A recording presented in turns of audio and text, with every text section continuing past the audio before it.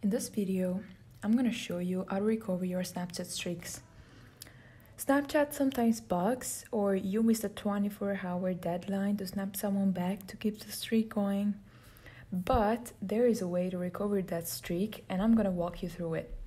So, go on Snapchat and tap your profile icon on the top left corner.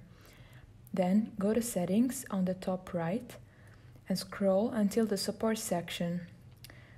Here you will select I need help.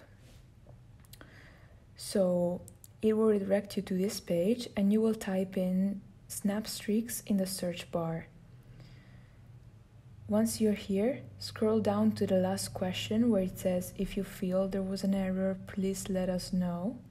So click on let us know and then select my snap streaks disappeared. Then a form will pop up and you're gonna have to fill it out by typing in your username, your phone number, the device that you're using, and so on. Once you're done filling it out, you can click on submit and wait for Snapchat support to reply, which should take a day or two. And they'll recover your snap streak for you.